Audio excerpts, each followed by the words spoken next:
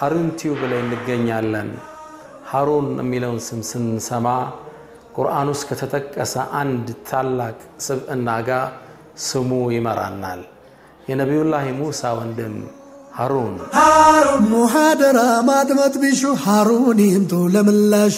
ሰላም አለይኩም ወረሕመቱላሂ ተዓላ ወበረካቱ። አሁን የሚዲያው እጥረት መልካምን ነገር የሚያስተላልፉ ሚዲያዎች ቁጥር አናሳ በሆነበት የሚዲያው ዓለም ላይ ሀሩን ቲዩብ ይሄን ክፍተት ሊሸፍንልን መልካምን ነገር ሊነግረን የሙስሊሙን አጀንዳ ሊያስተዋውቀን ሀ ብሎ ተነስቷል። በርካታ ዜናዎችን፣ ሸሪዓዊ እውቀቶችን፣ ዓለም አቀፋዊ information ኦችን የምናገኝበት ማዕከል ነው። ሁላችን ከሱ እንዝገን እላለሁ። ማዕዱ ላይ እንቋደስ እላለሁ። ሰለላሁ ወሰለም ወባረክ አለ ነቢይና መሐመድ። ሀሩን ቲዩብ نحن قوم أعزنا الله أعزنا الله حسبوكنان يا لكن الله يا لكن الله نحن قوم أعزنا الله حسبوكنان يا لكن الله يا لكن الله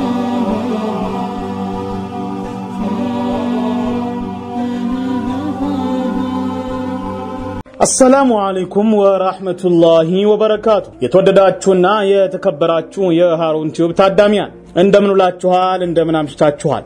ይህ ባለ አሻራዎቻችን የተሰኘው ፕሮግራማችን ነው። በዚህ ፕሮግራማችን ደግሞ በዓለም ላይ አሻራቸውን ያሳረፉ ታላላቅ ሰዎችን ወደ እናንተ በሰፊ የምናስተዋውቅበት መድረክ መሆኑ ይታወቃል።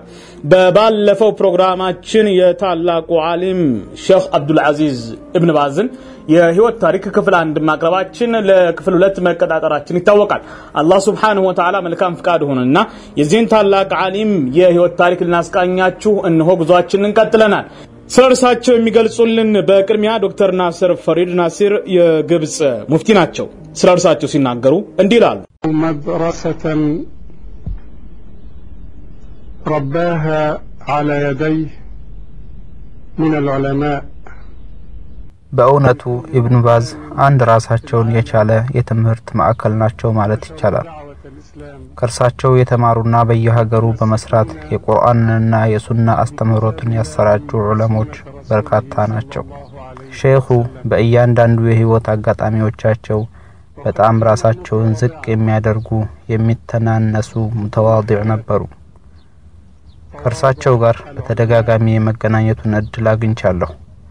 በእውነቱ እርሳቸው አቂዳን በጽናት በመያዝ መሰረታዊ የሸሪዓ መርሆችን በመከተል ለሙስሊሙ ኡማ በጠቅላላ የመልካምነት ተምሳሌት ወይም ሞዴል ነበሩ።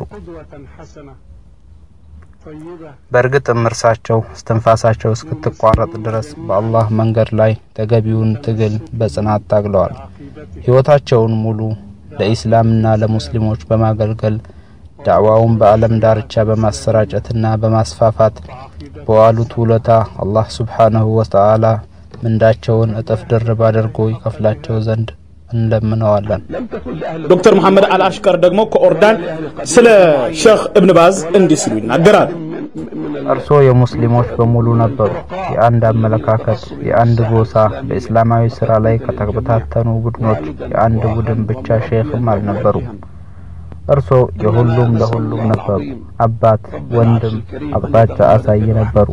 የአርሹን ጌታ ቸሩን አላህ ስብሓነሁ ወተዓላ በእዝነቱ እንዲያከብሩ እንማጸናለን። مع النبيين والصديقين والشهداء والصالحين إن آثارك لخالدة وإنها لتعمل عملها اليوم في كل مكان والحمد لله رب العالمين نسأل الله تبارك وتعالى أن يكون ما عند ما عنده لك خير مما مر بك في حياتك لقد انتقلت من وصب الدنيا و- وتعبها إلى رحمة الله الواسعة إن شاء الله الكريم والحمد لله رب العالمين ዝም ሼክ እብኑ ባዝ በመላው ዓለም በሚገኙ ዑለማዎች ዘንድ ተወዳጅ ናቸው። ሼክ እብኑ ባዝ ገና በማለዳው 16 ዓመት እንኳን በቅጡ ሳይሞላቸው ነበረ ለፈተና የተጋፈጡት።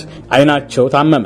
ህመሙ የማየት አቅማቸውን እያዳከመ በአጭር ጊዜ ውስጥ የሁለቱንም አይኖቻቸውን ብርሃን አሳጣቸው። ሸኹ አይኖቻቸው ሙሉ በሙሉ ማየት ሲሳናቸው 21 ዓመት አልሞላቸውም ነበረ። ይሁን እንጂ አላህ ስብሓንሁ ወተዓላ የልቦናቸውን አይን ጠንካራ በማድረግ ክሷቸዋል። በርካታ የሐዲስ መዛግብትን በቃላቸው ሐፍጸዋል። የሐዲስ ዘጋቢዎችን ዝርዝር መረጃን፣ የስሞቻቸውን አጠራርና ሌሎችንም በሐዲስ ዘገባ ዘርፍ የሚገኙ መረጃዎችን በደንብ አጥንተው ሐፍጸዋል። አይነ ስውር ቢሆንም በርካታ የሐዲስ መዛግብትንና የተለያዩ መጽሐፍቶች ለህትመት ከመብቃታቸው በፊት እሳቸው ዘንድ ቀርበው ግድፈቶችን እርማት ይሰጡ ነበረ። የቀደምት ዑለሞችን ንግግር ወይም አቋም የነበራቸው እውቀትም እንደ ባህር ሰፊና ጥልቅ ነው። በሚይዙት የአመለካከት አቋምም ከቀደምቶቹ ጋር የሚቃረኑ አልነበሩም፣ ወይም ከነርሱ ውጭ አይሆኑም። በፈትዋዎቻቸው ውስጥ ተገንጣይ ሻዝ የሆነ ፈትዋ ፈጽሞ የለም። ፍትሐዊና ሚዛናዊ ነበሩ። ዶክተር ፉዓድ ሙኸሚር ከግብፅ ስለ እርሳቸው ሲናገሩ እንዲህ ይላሉ إنه إمام عصره لا نكون قد تجاوزنا الحد ذلك لأنه رب العلماء ورب الدعاة ስለ እርሳቸው ስንናገር የዘመናቸው ኢማም ናቸው ብንል ድንበር አለፍን ያስብለን። ምክንያቱም እርሳቸው ዑለሞችን አንጸዋል፣ ዱዓቶችን ቀርጸዋል። ይህ ከቁርአንና ከረሱል ሰለላሁ ዐለይሂ ወሰለም ሱና አስተምህሮት የተዘጋጀውን መልካምና የተባረከ ስንቅ ለሰፊው ሕዝብ እንዲያቀርቡ በተለያዩ ሀገሮች ላይ ዑለሞችን አሰማርተዋል ሲሉ ይገልጻሉ። ለ58 ተከታታይ ዓመታት ሸኹ ኢልምን በማሰራጨት ዳዕዋ በማድረግ ፈትዋ በመስጠት አሳልፈዋል። በእነኚህ ረዥም ዓመታት ውስጥ ለአንድ ቀን እንኳን እረፍት ወስዶ አያውቁም። በቀን ውስጥ ከአራት ወይም አምስት ሰዓታት የበለጠ ተኝቶ አያውቁም። ከ20 ዓመት በፊት ጀምሮ በሙሉ ደሞዛቸው የጡረታ መብታቸው ማስጠበቅና ጡረታ መውጣት ችሎ ነበረ። ይሁን እንጂ ሸኹ እረፍትም ሆነ ጡረታ ሳይፈልጉ ለእስልምና በማገልገል ዲኑን በማገዝ ስራ ላይ ቀጠሉ። ምንጊዜም በሪያድ በሚገኘው መስጊዳቸው ኢልም ለማስቀራት ከወንበራቸው ላይ አይታጡም ነበረ። እርሳቸው ዘንድ የሚማሩ ደረሶች በእድሜና በእውቀት ደረጃቸው በተለያዩ እርከኖች ላይ የሚገኙ ሲሆኑ ከብዙ ሀገራት የተውጣጡ የተለያዩ ዜጎችም ናቸው። በመሆኑም በአንድ የትምህርት ዘርፍ ብቻ ከአስር በላይ ኪታቦችን በማብራራት በመሐየስ በመተርጎም ያስቀሩ ነበረ። የሼኽ እብን ባዝ መስጅድ ሙአዚን ስለ እርሳቸው ሲናገሩም እንዲህ ይላሉ።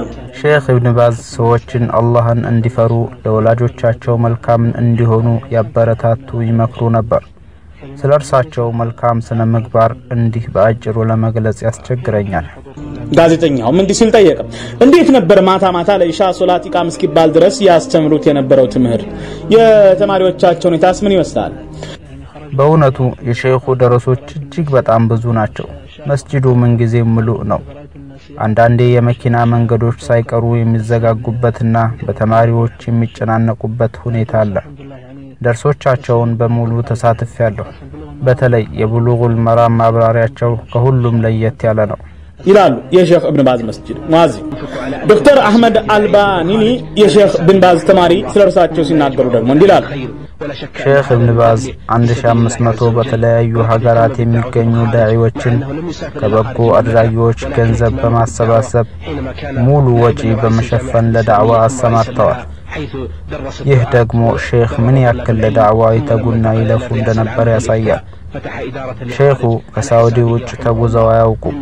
ዳዕዋውን ግን በየዓለም ዳርቻው እንዲሰራጭ ከፍተኛ ሚና ተጫውተዋል። ለምሳሌ በመጀመሪያ የመዲና ኢስላማዊ ዩኒቨርሲቲ ምክትል አስተዳደር ከዚያም ዋና አስተዳደር በነበሩበት ዓመታት ቁጥራቸው በርካታ ዱዓቶችን አስተምረዋል። ከዚያም ወደ ፈትዋ ዋና ጽሕፈት ቤት ሲዘዋወሩ ከስዑዲ ውጭ ለሚደረጉ ዳዕዋዎች ተጠሪ የሚሆን አንድ ራሱን የቻለ ቢሮ በመክፈት በዓለም ላይ ከሚገኙ ዱዓቶች ጋር የግንኙነት መስመር በመዘርጋት ያሉበትን አህዋል ትኩረት ሰጥቶ በመከታተልና አስፈላጊውን ድጋፍና ትብብር በማድረግ ሰርተዋል።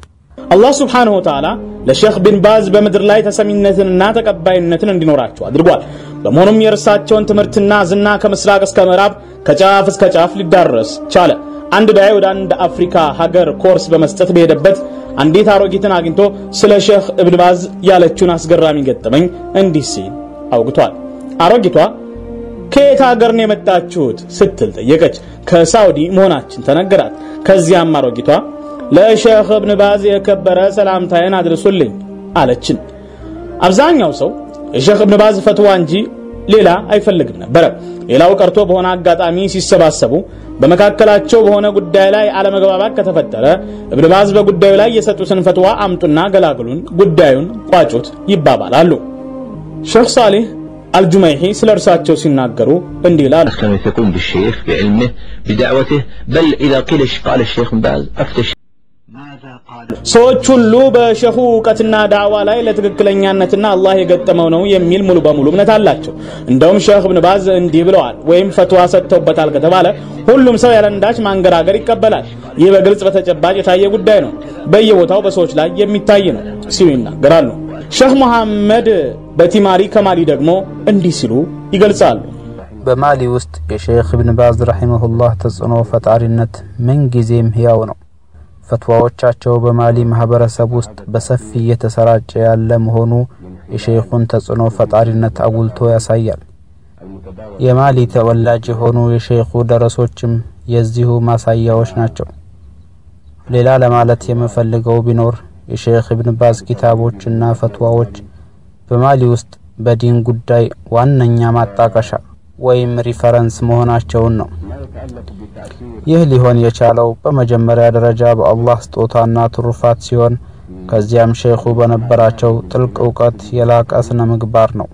በመሆኑም ሰዎች የእርሳቸውን ኪታቦች በስፋት እንዲያነቡና በፈትዋዎቻቸው ላይ እምነት እንዲጥሉ አድርጓቸዋል። የሼክ ኢብን ባዝ ተጽዕኖ ፈጣሪነት በማሊ ላይ ብቻ የተገደበ አይደለም። በሌሎች የምዕራብ አፍሪካ ሀገራት ላይም ተመሳሳይ ሁኔታ ነው ያለው። ለምሳሌ ያክል በኒጀር፣ በአይቬሪ ኮስት፣ በቡርኪና ፋሶና በሌሎች ሀገራት የሼኹ ተጽዕኖ ጎልቶ ይታያል። ይህ ሊሆን የቻለው ሼኹ ዘንድ በሳውዲ አረቢያ በተማሩ ደረሶቻቸው ባሰራጩት ዳዕዋ ምክንያት ነው። አዎ በእርግጥም የሸሁ ተጽዕኖ ፈጣሪነት በዚህ መልኩ በዓለም ሀገራት በሙሉ ተሰራጨ። በተለይም ለሚፈጠሩ ሙግቶችና አለመግባባቶች እልባት ሰጪ በመሆን ከፍተኛ ሚና ተጫውተዋል። አላህ سبحانه وتعالى መልካም ስራቸውን ይቀበላቸው።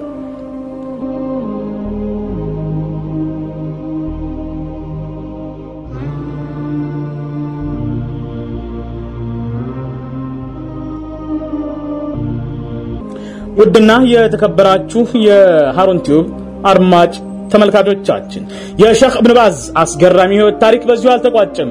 ኢንሻአላህ በክፍል ሶስት እንመለሳለን። የሀገራችን ታላላቅ ዑለማዎችም እርሳቸውን አስመልክቶ ያላቸውን ሀሳብ ለማካተት እንሞክራለን። አብራችሁ ስለነበራችሁ እናመሰግናለን፣ እንወዳችኋለን።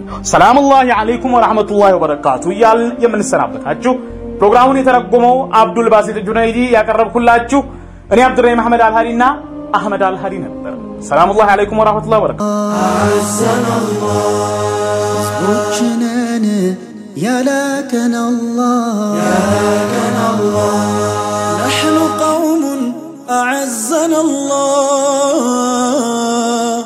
اثبت يا لكن الله يا لكن الله.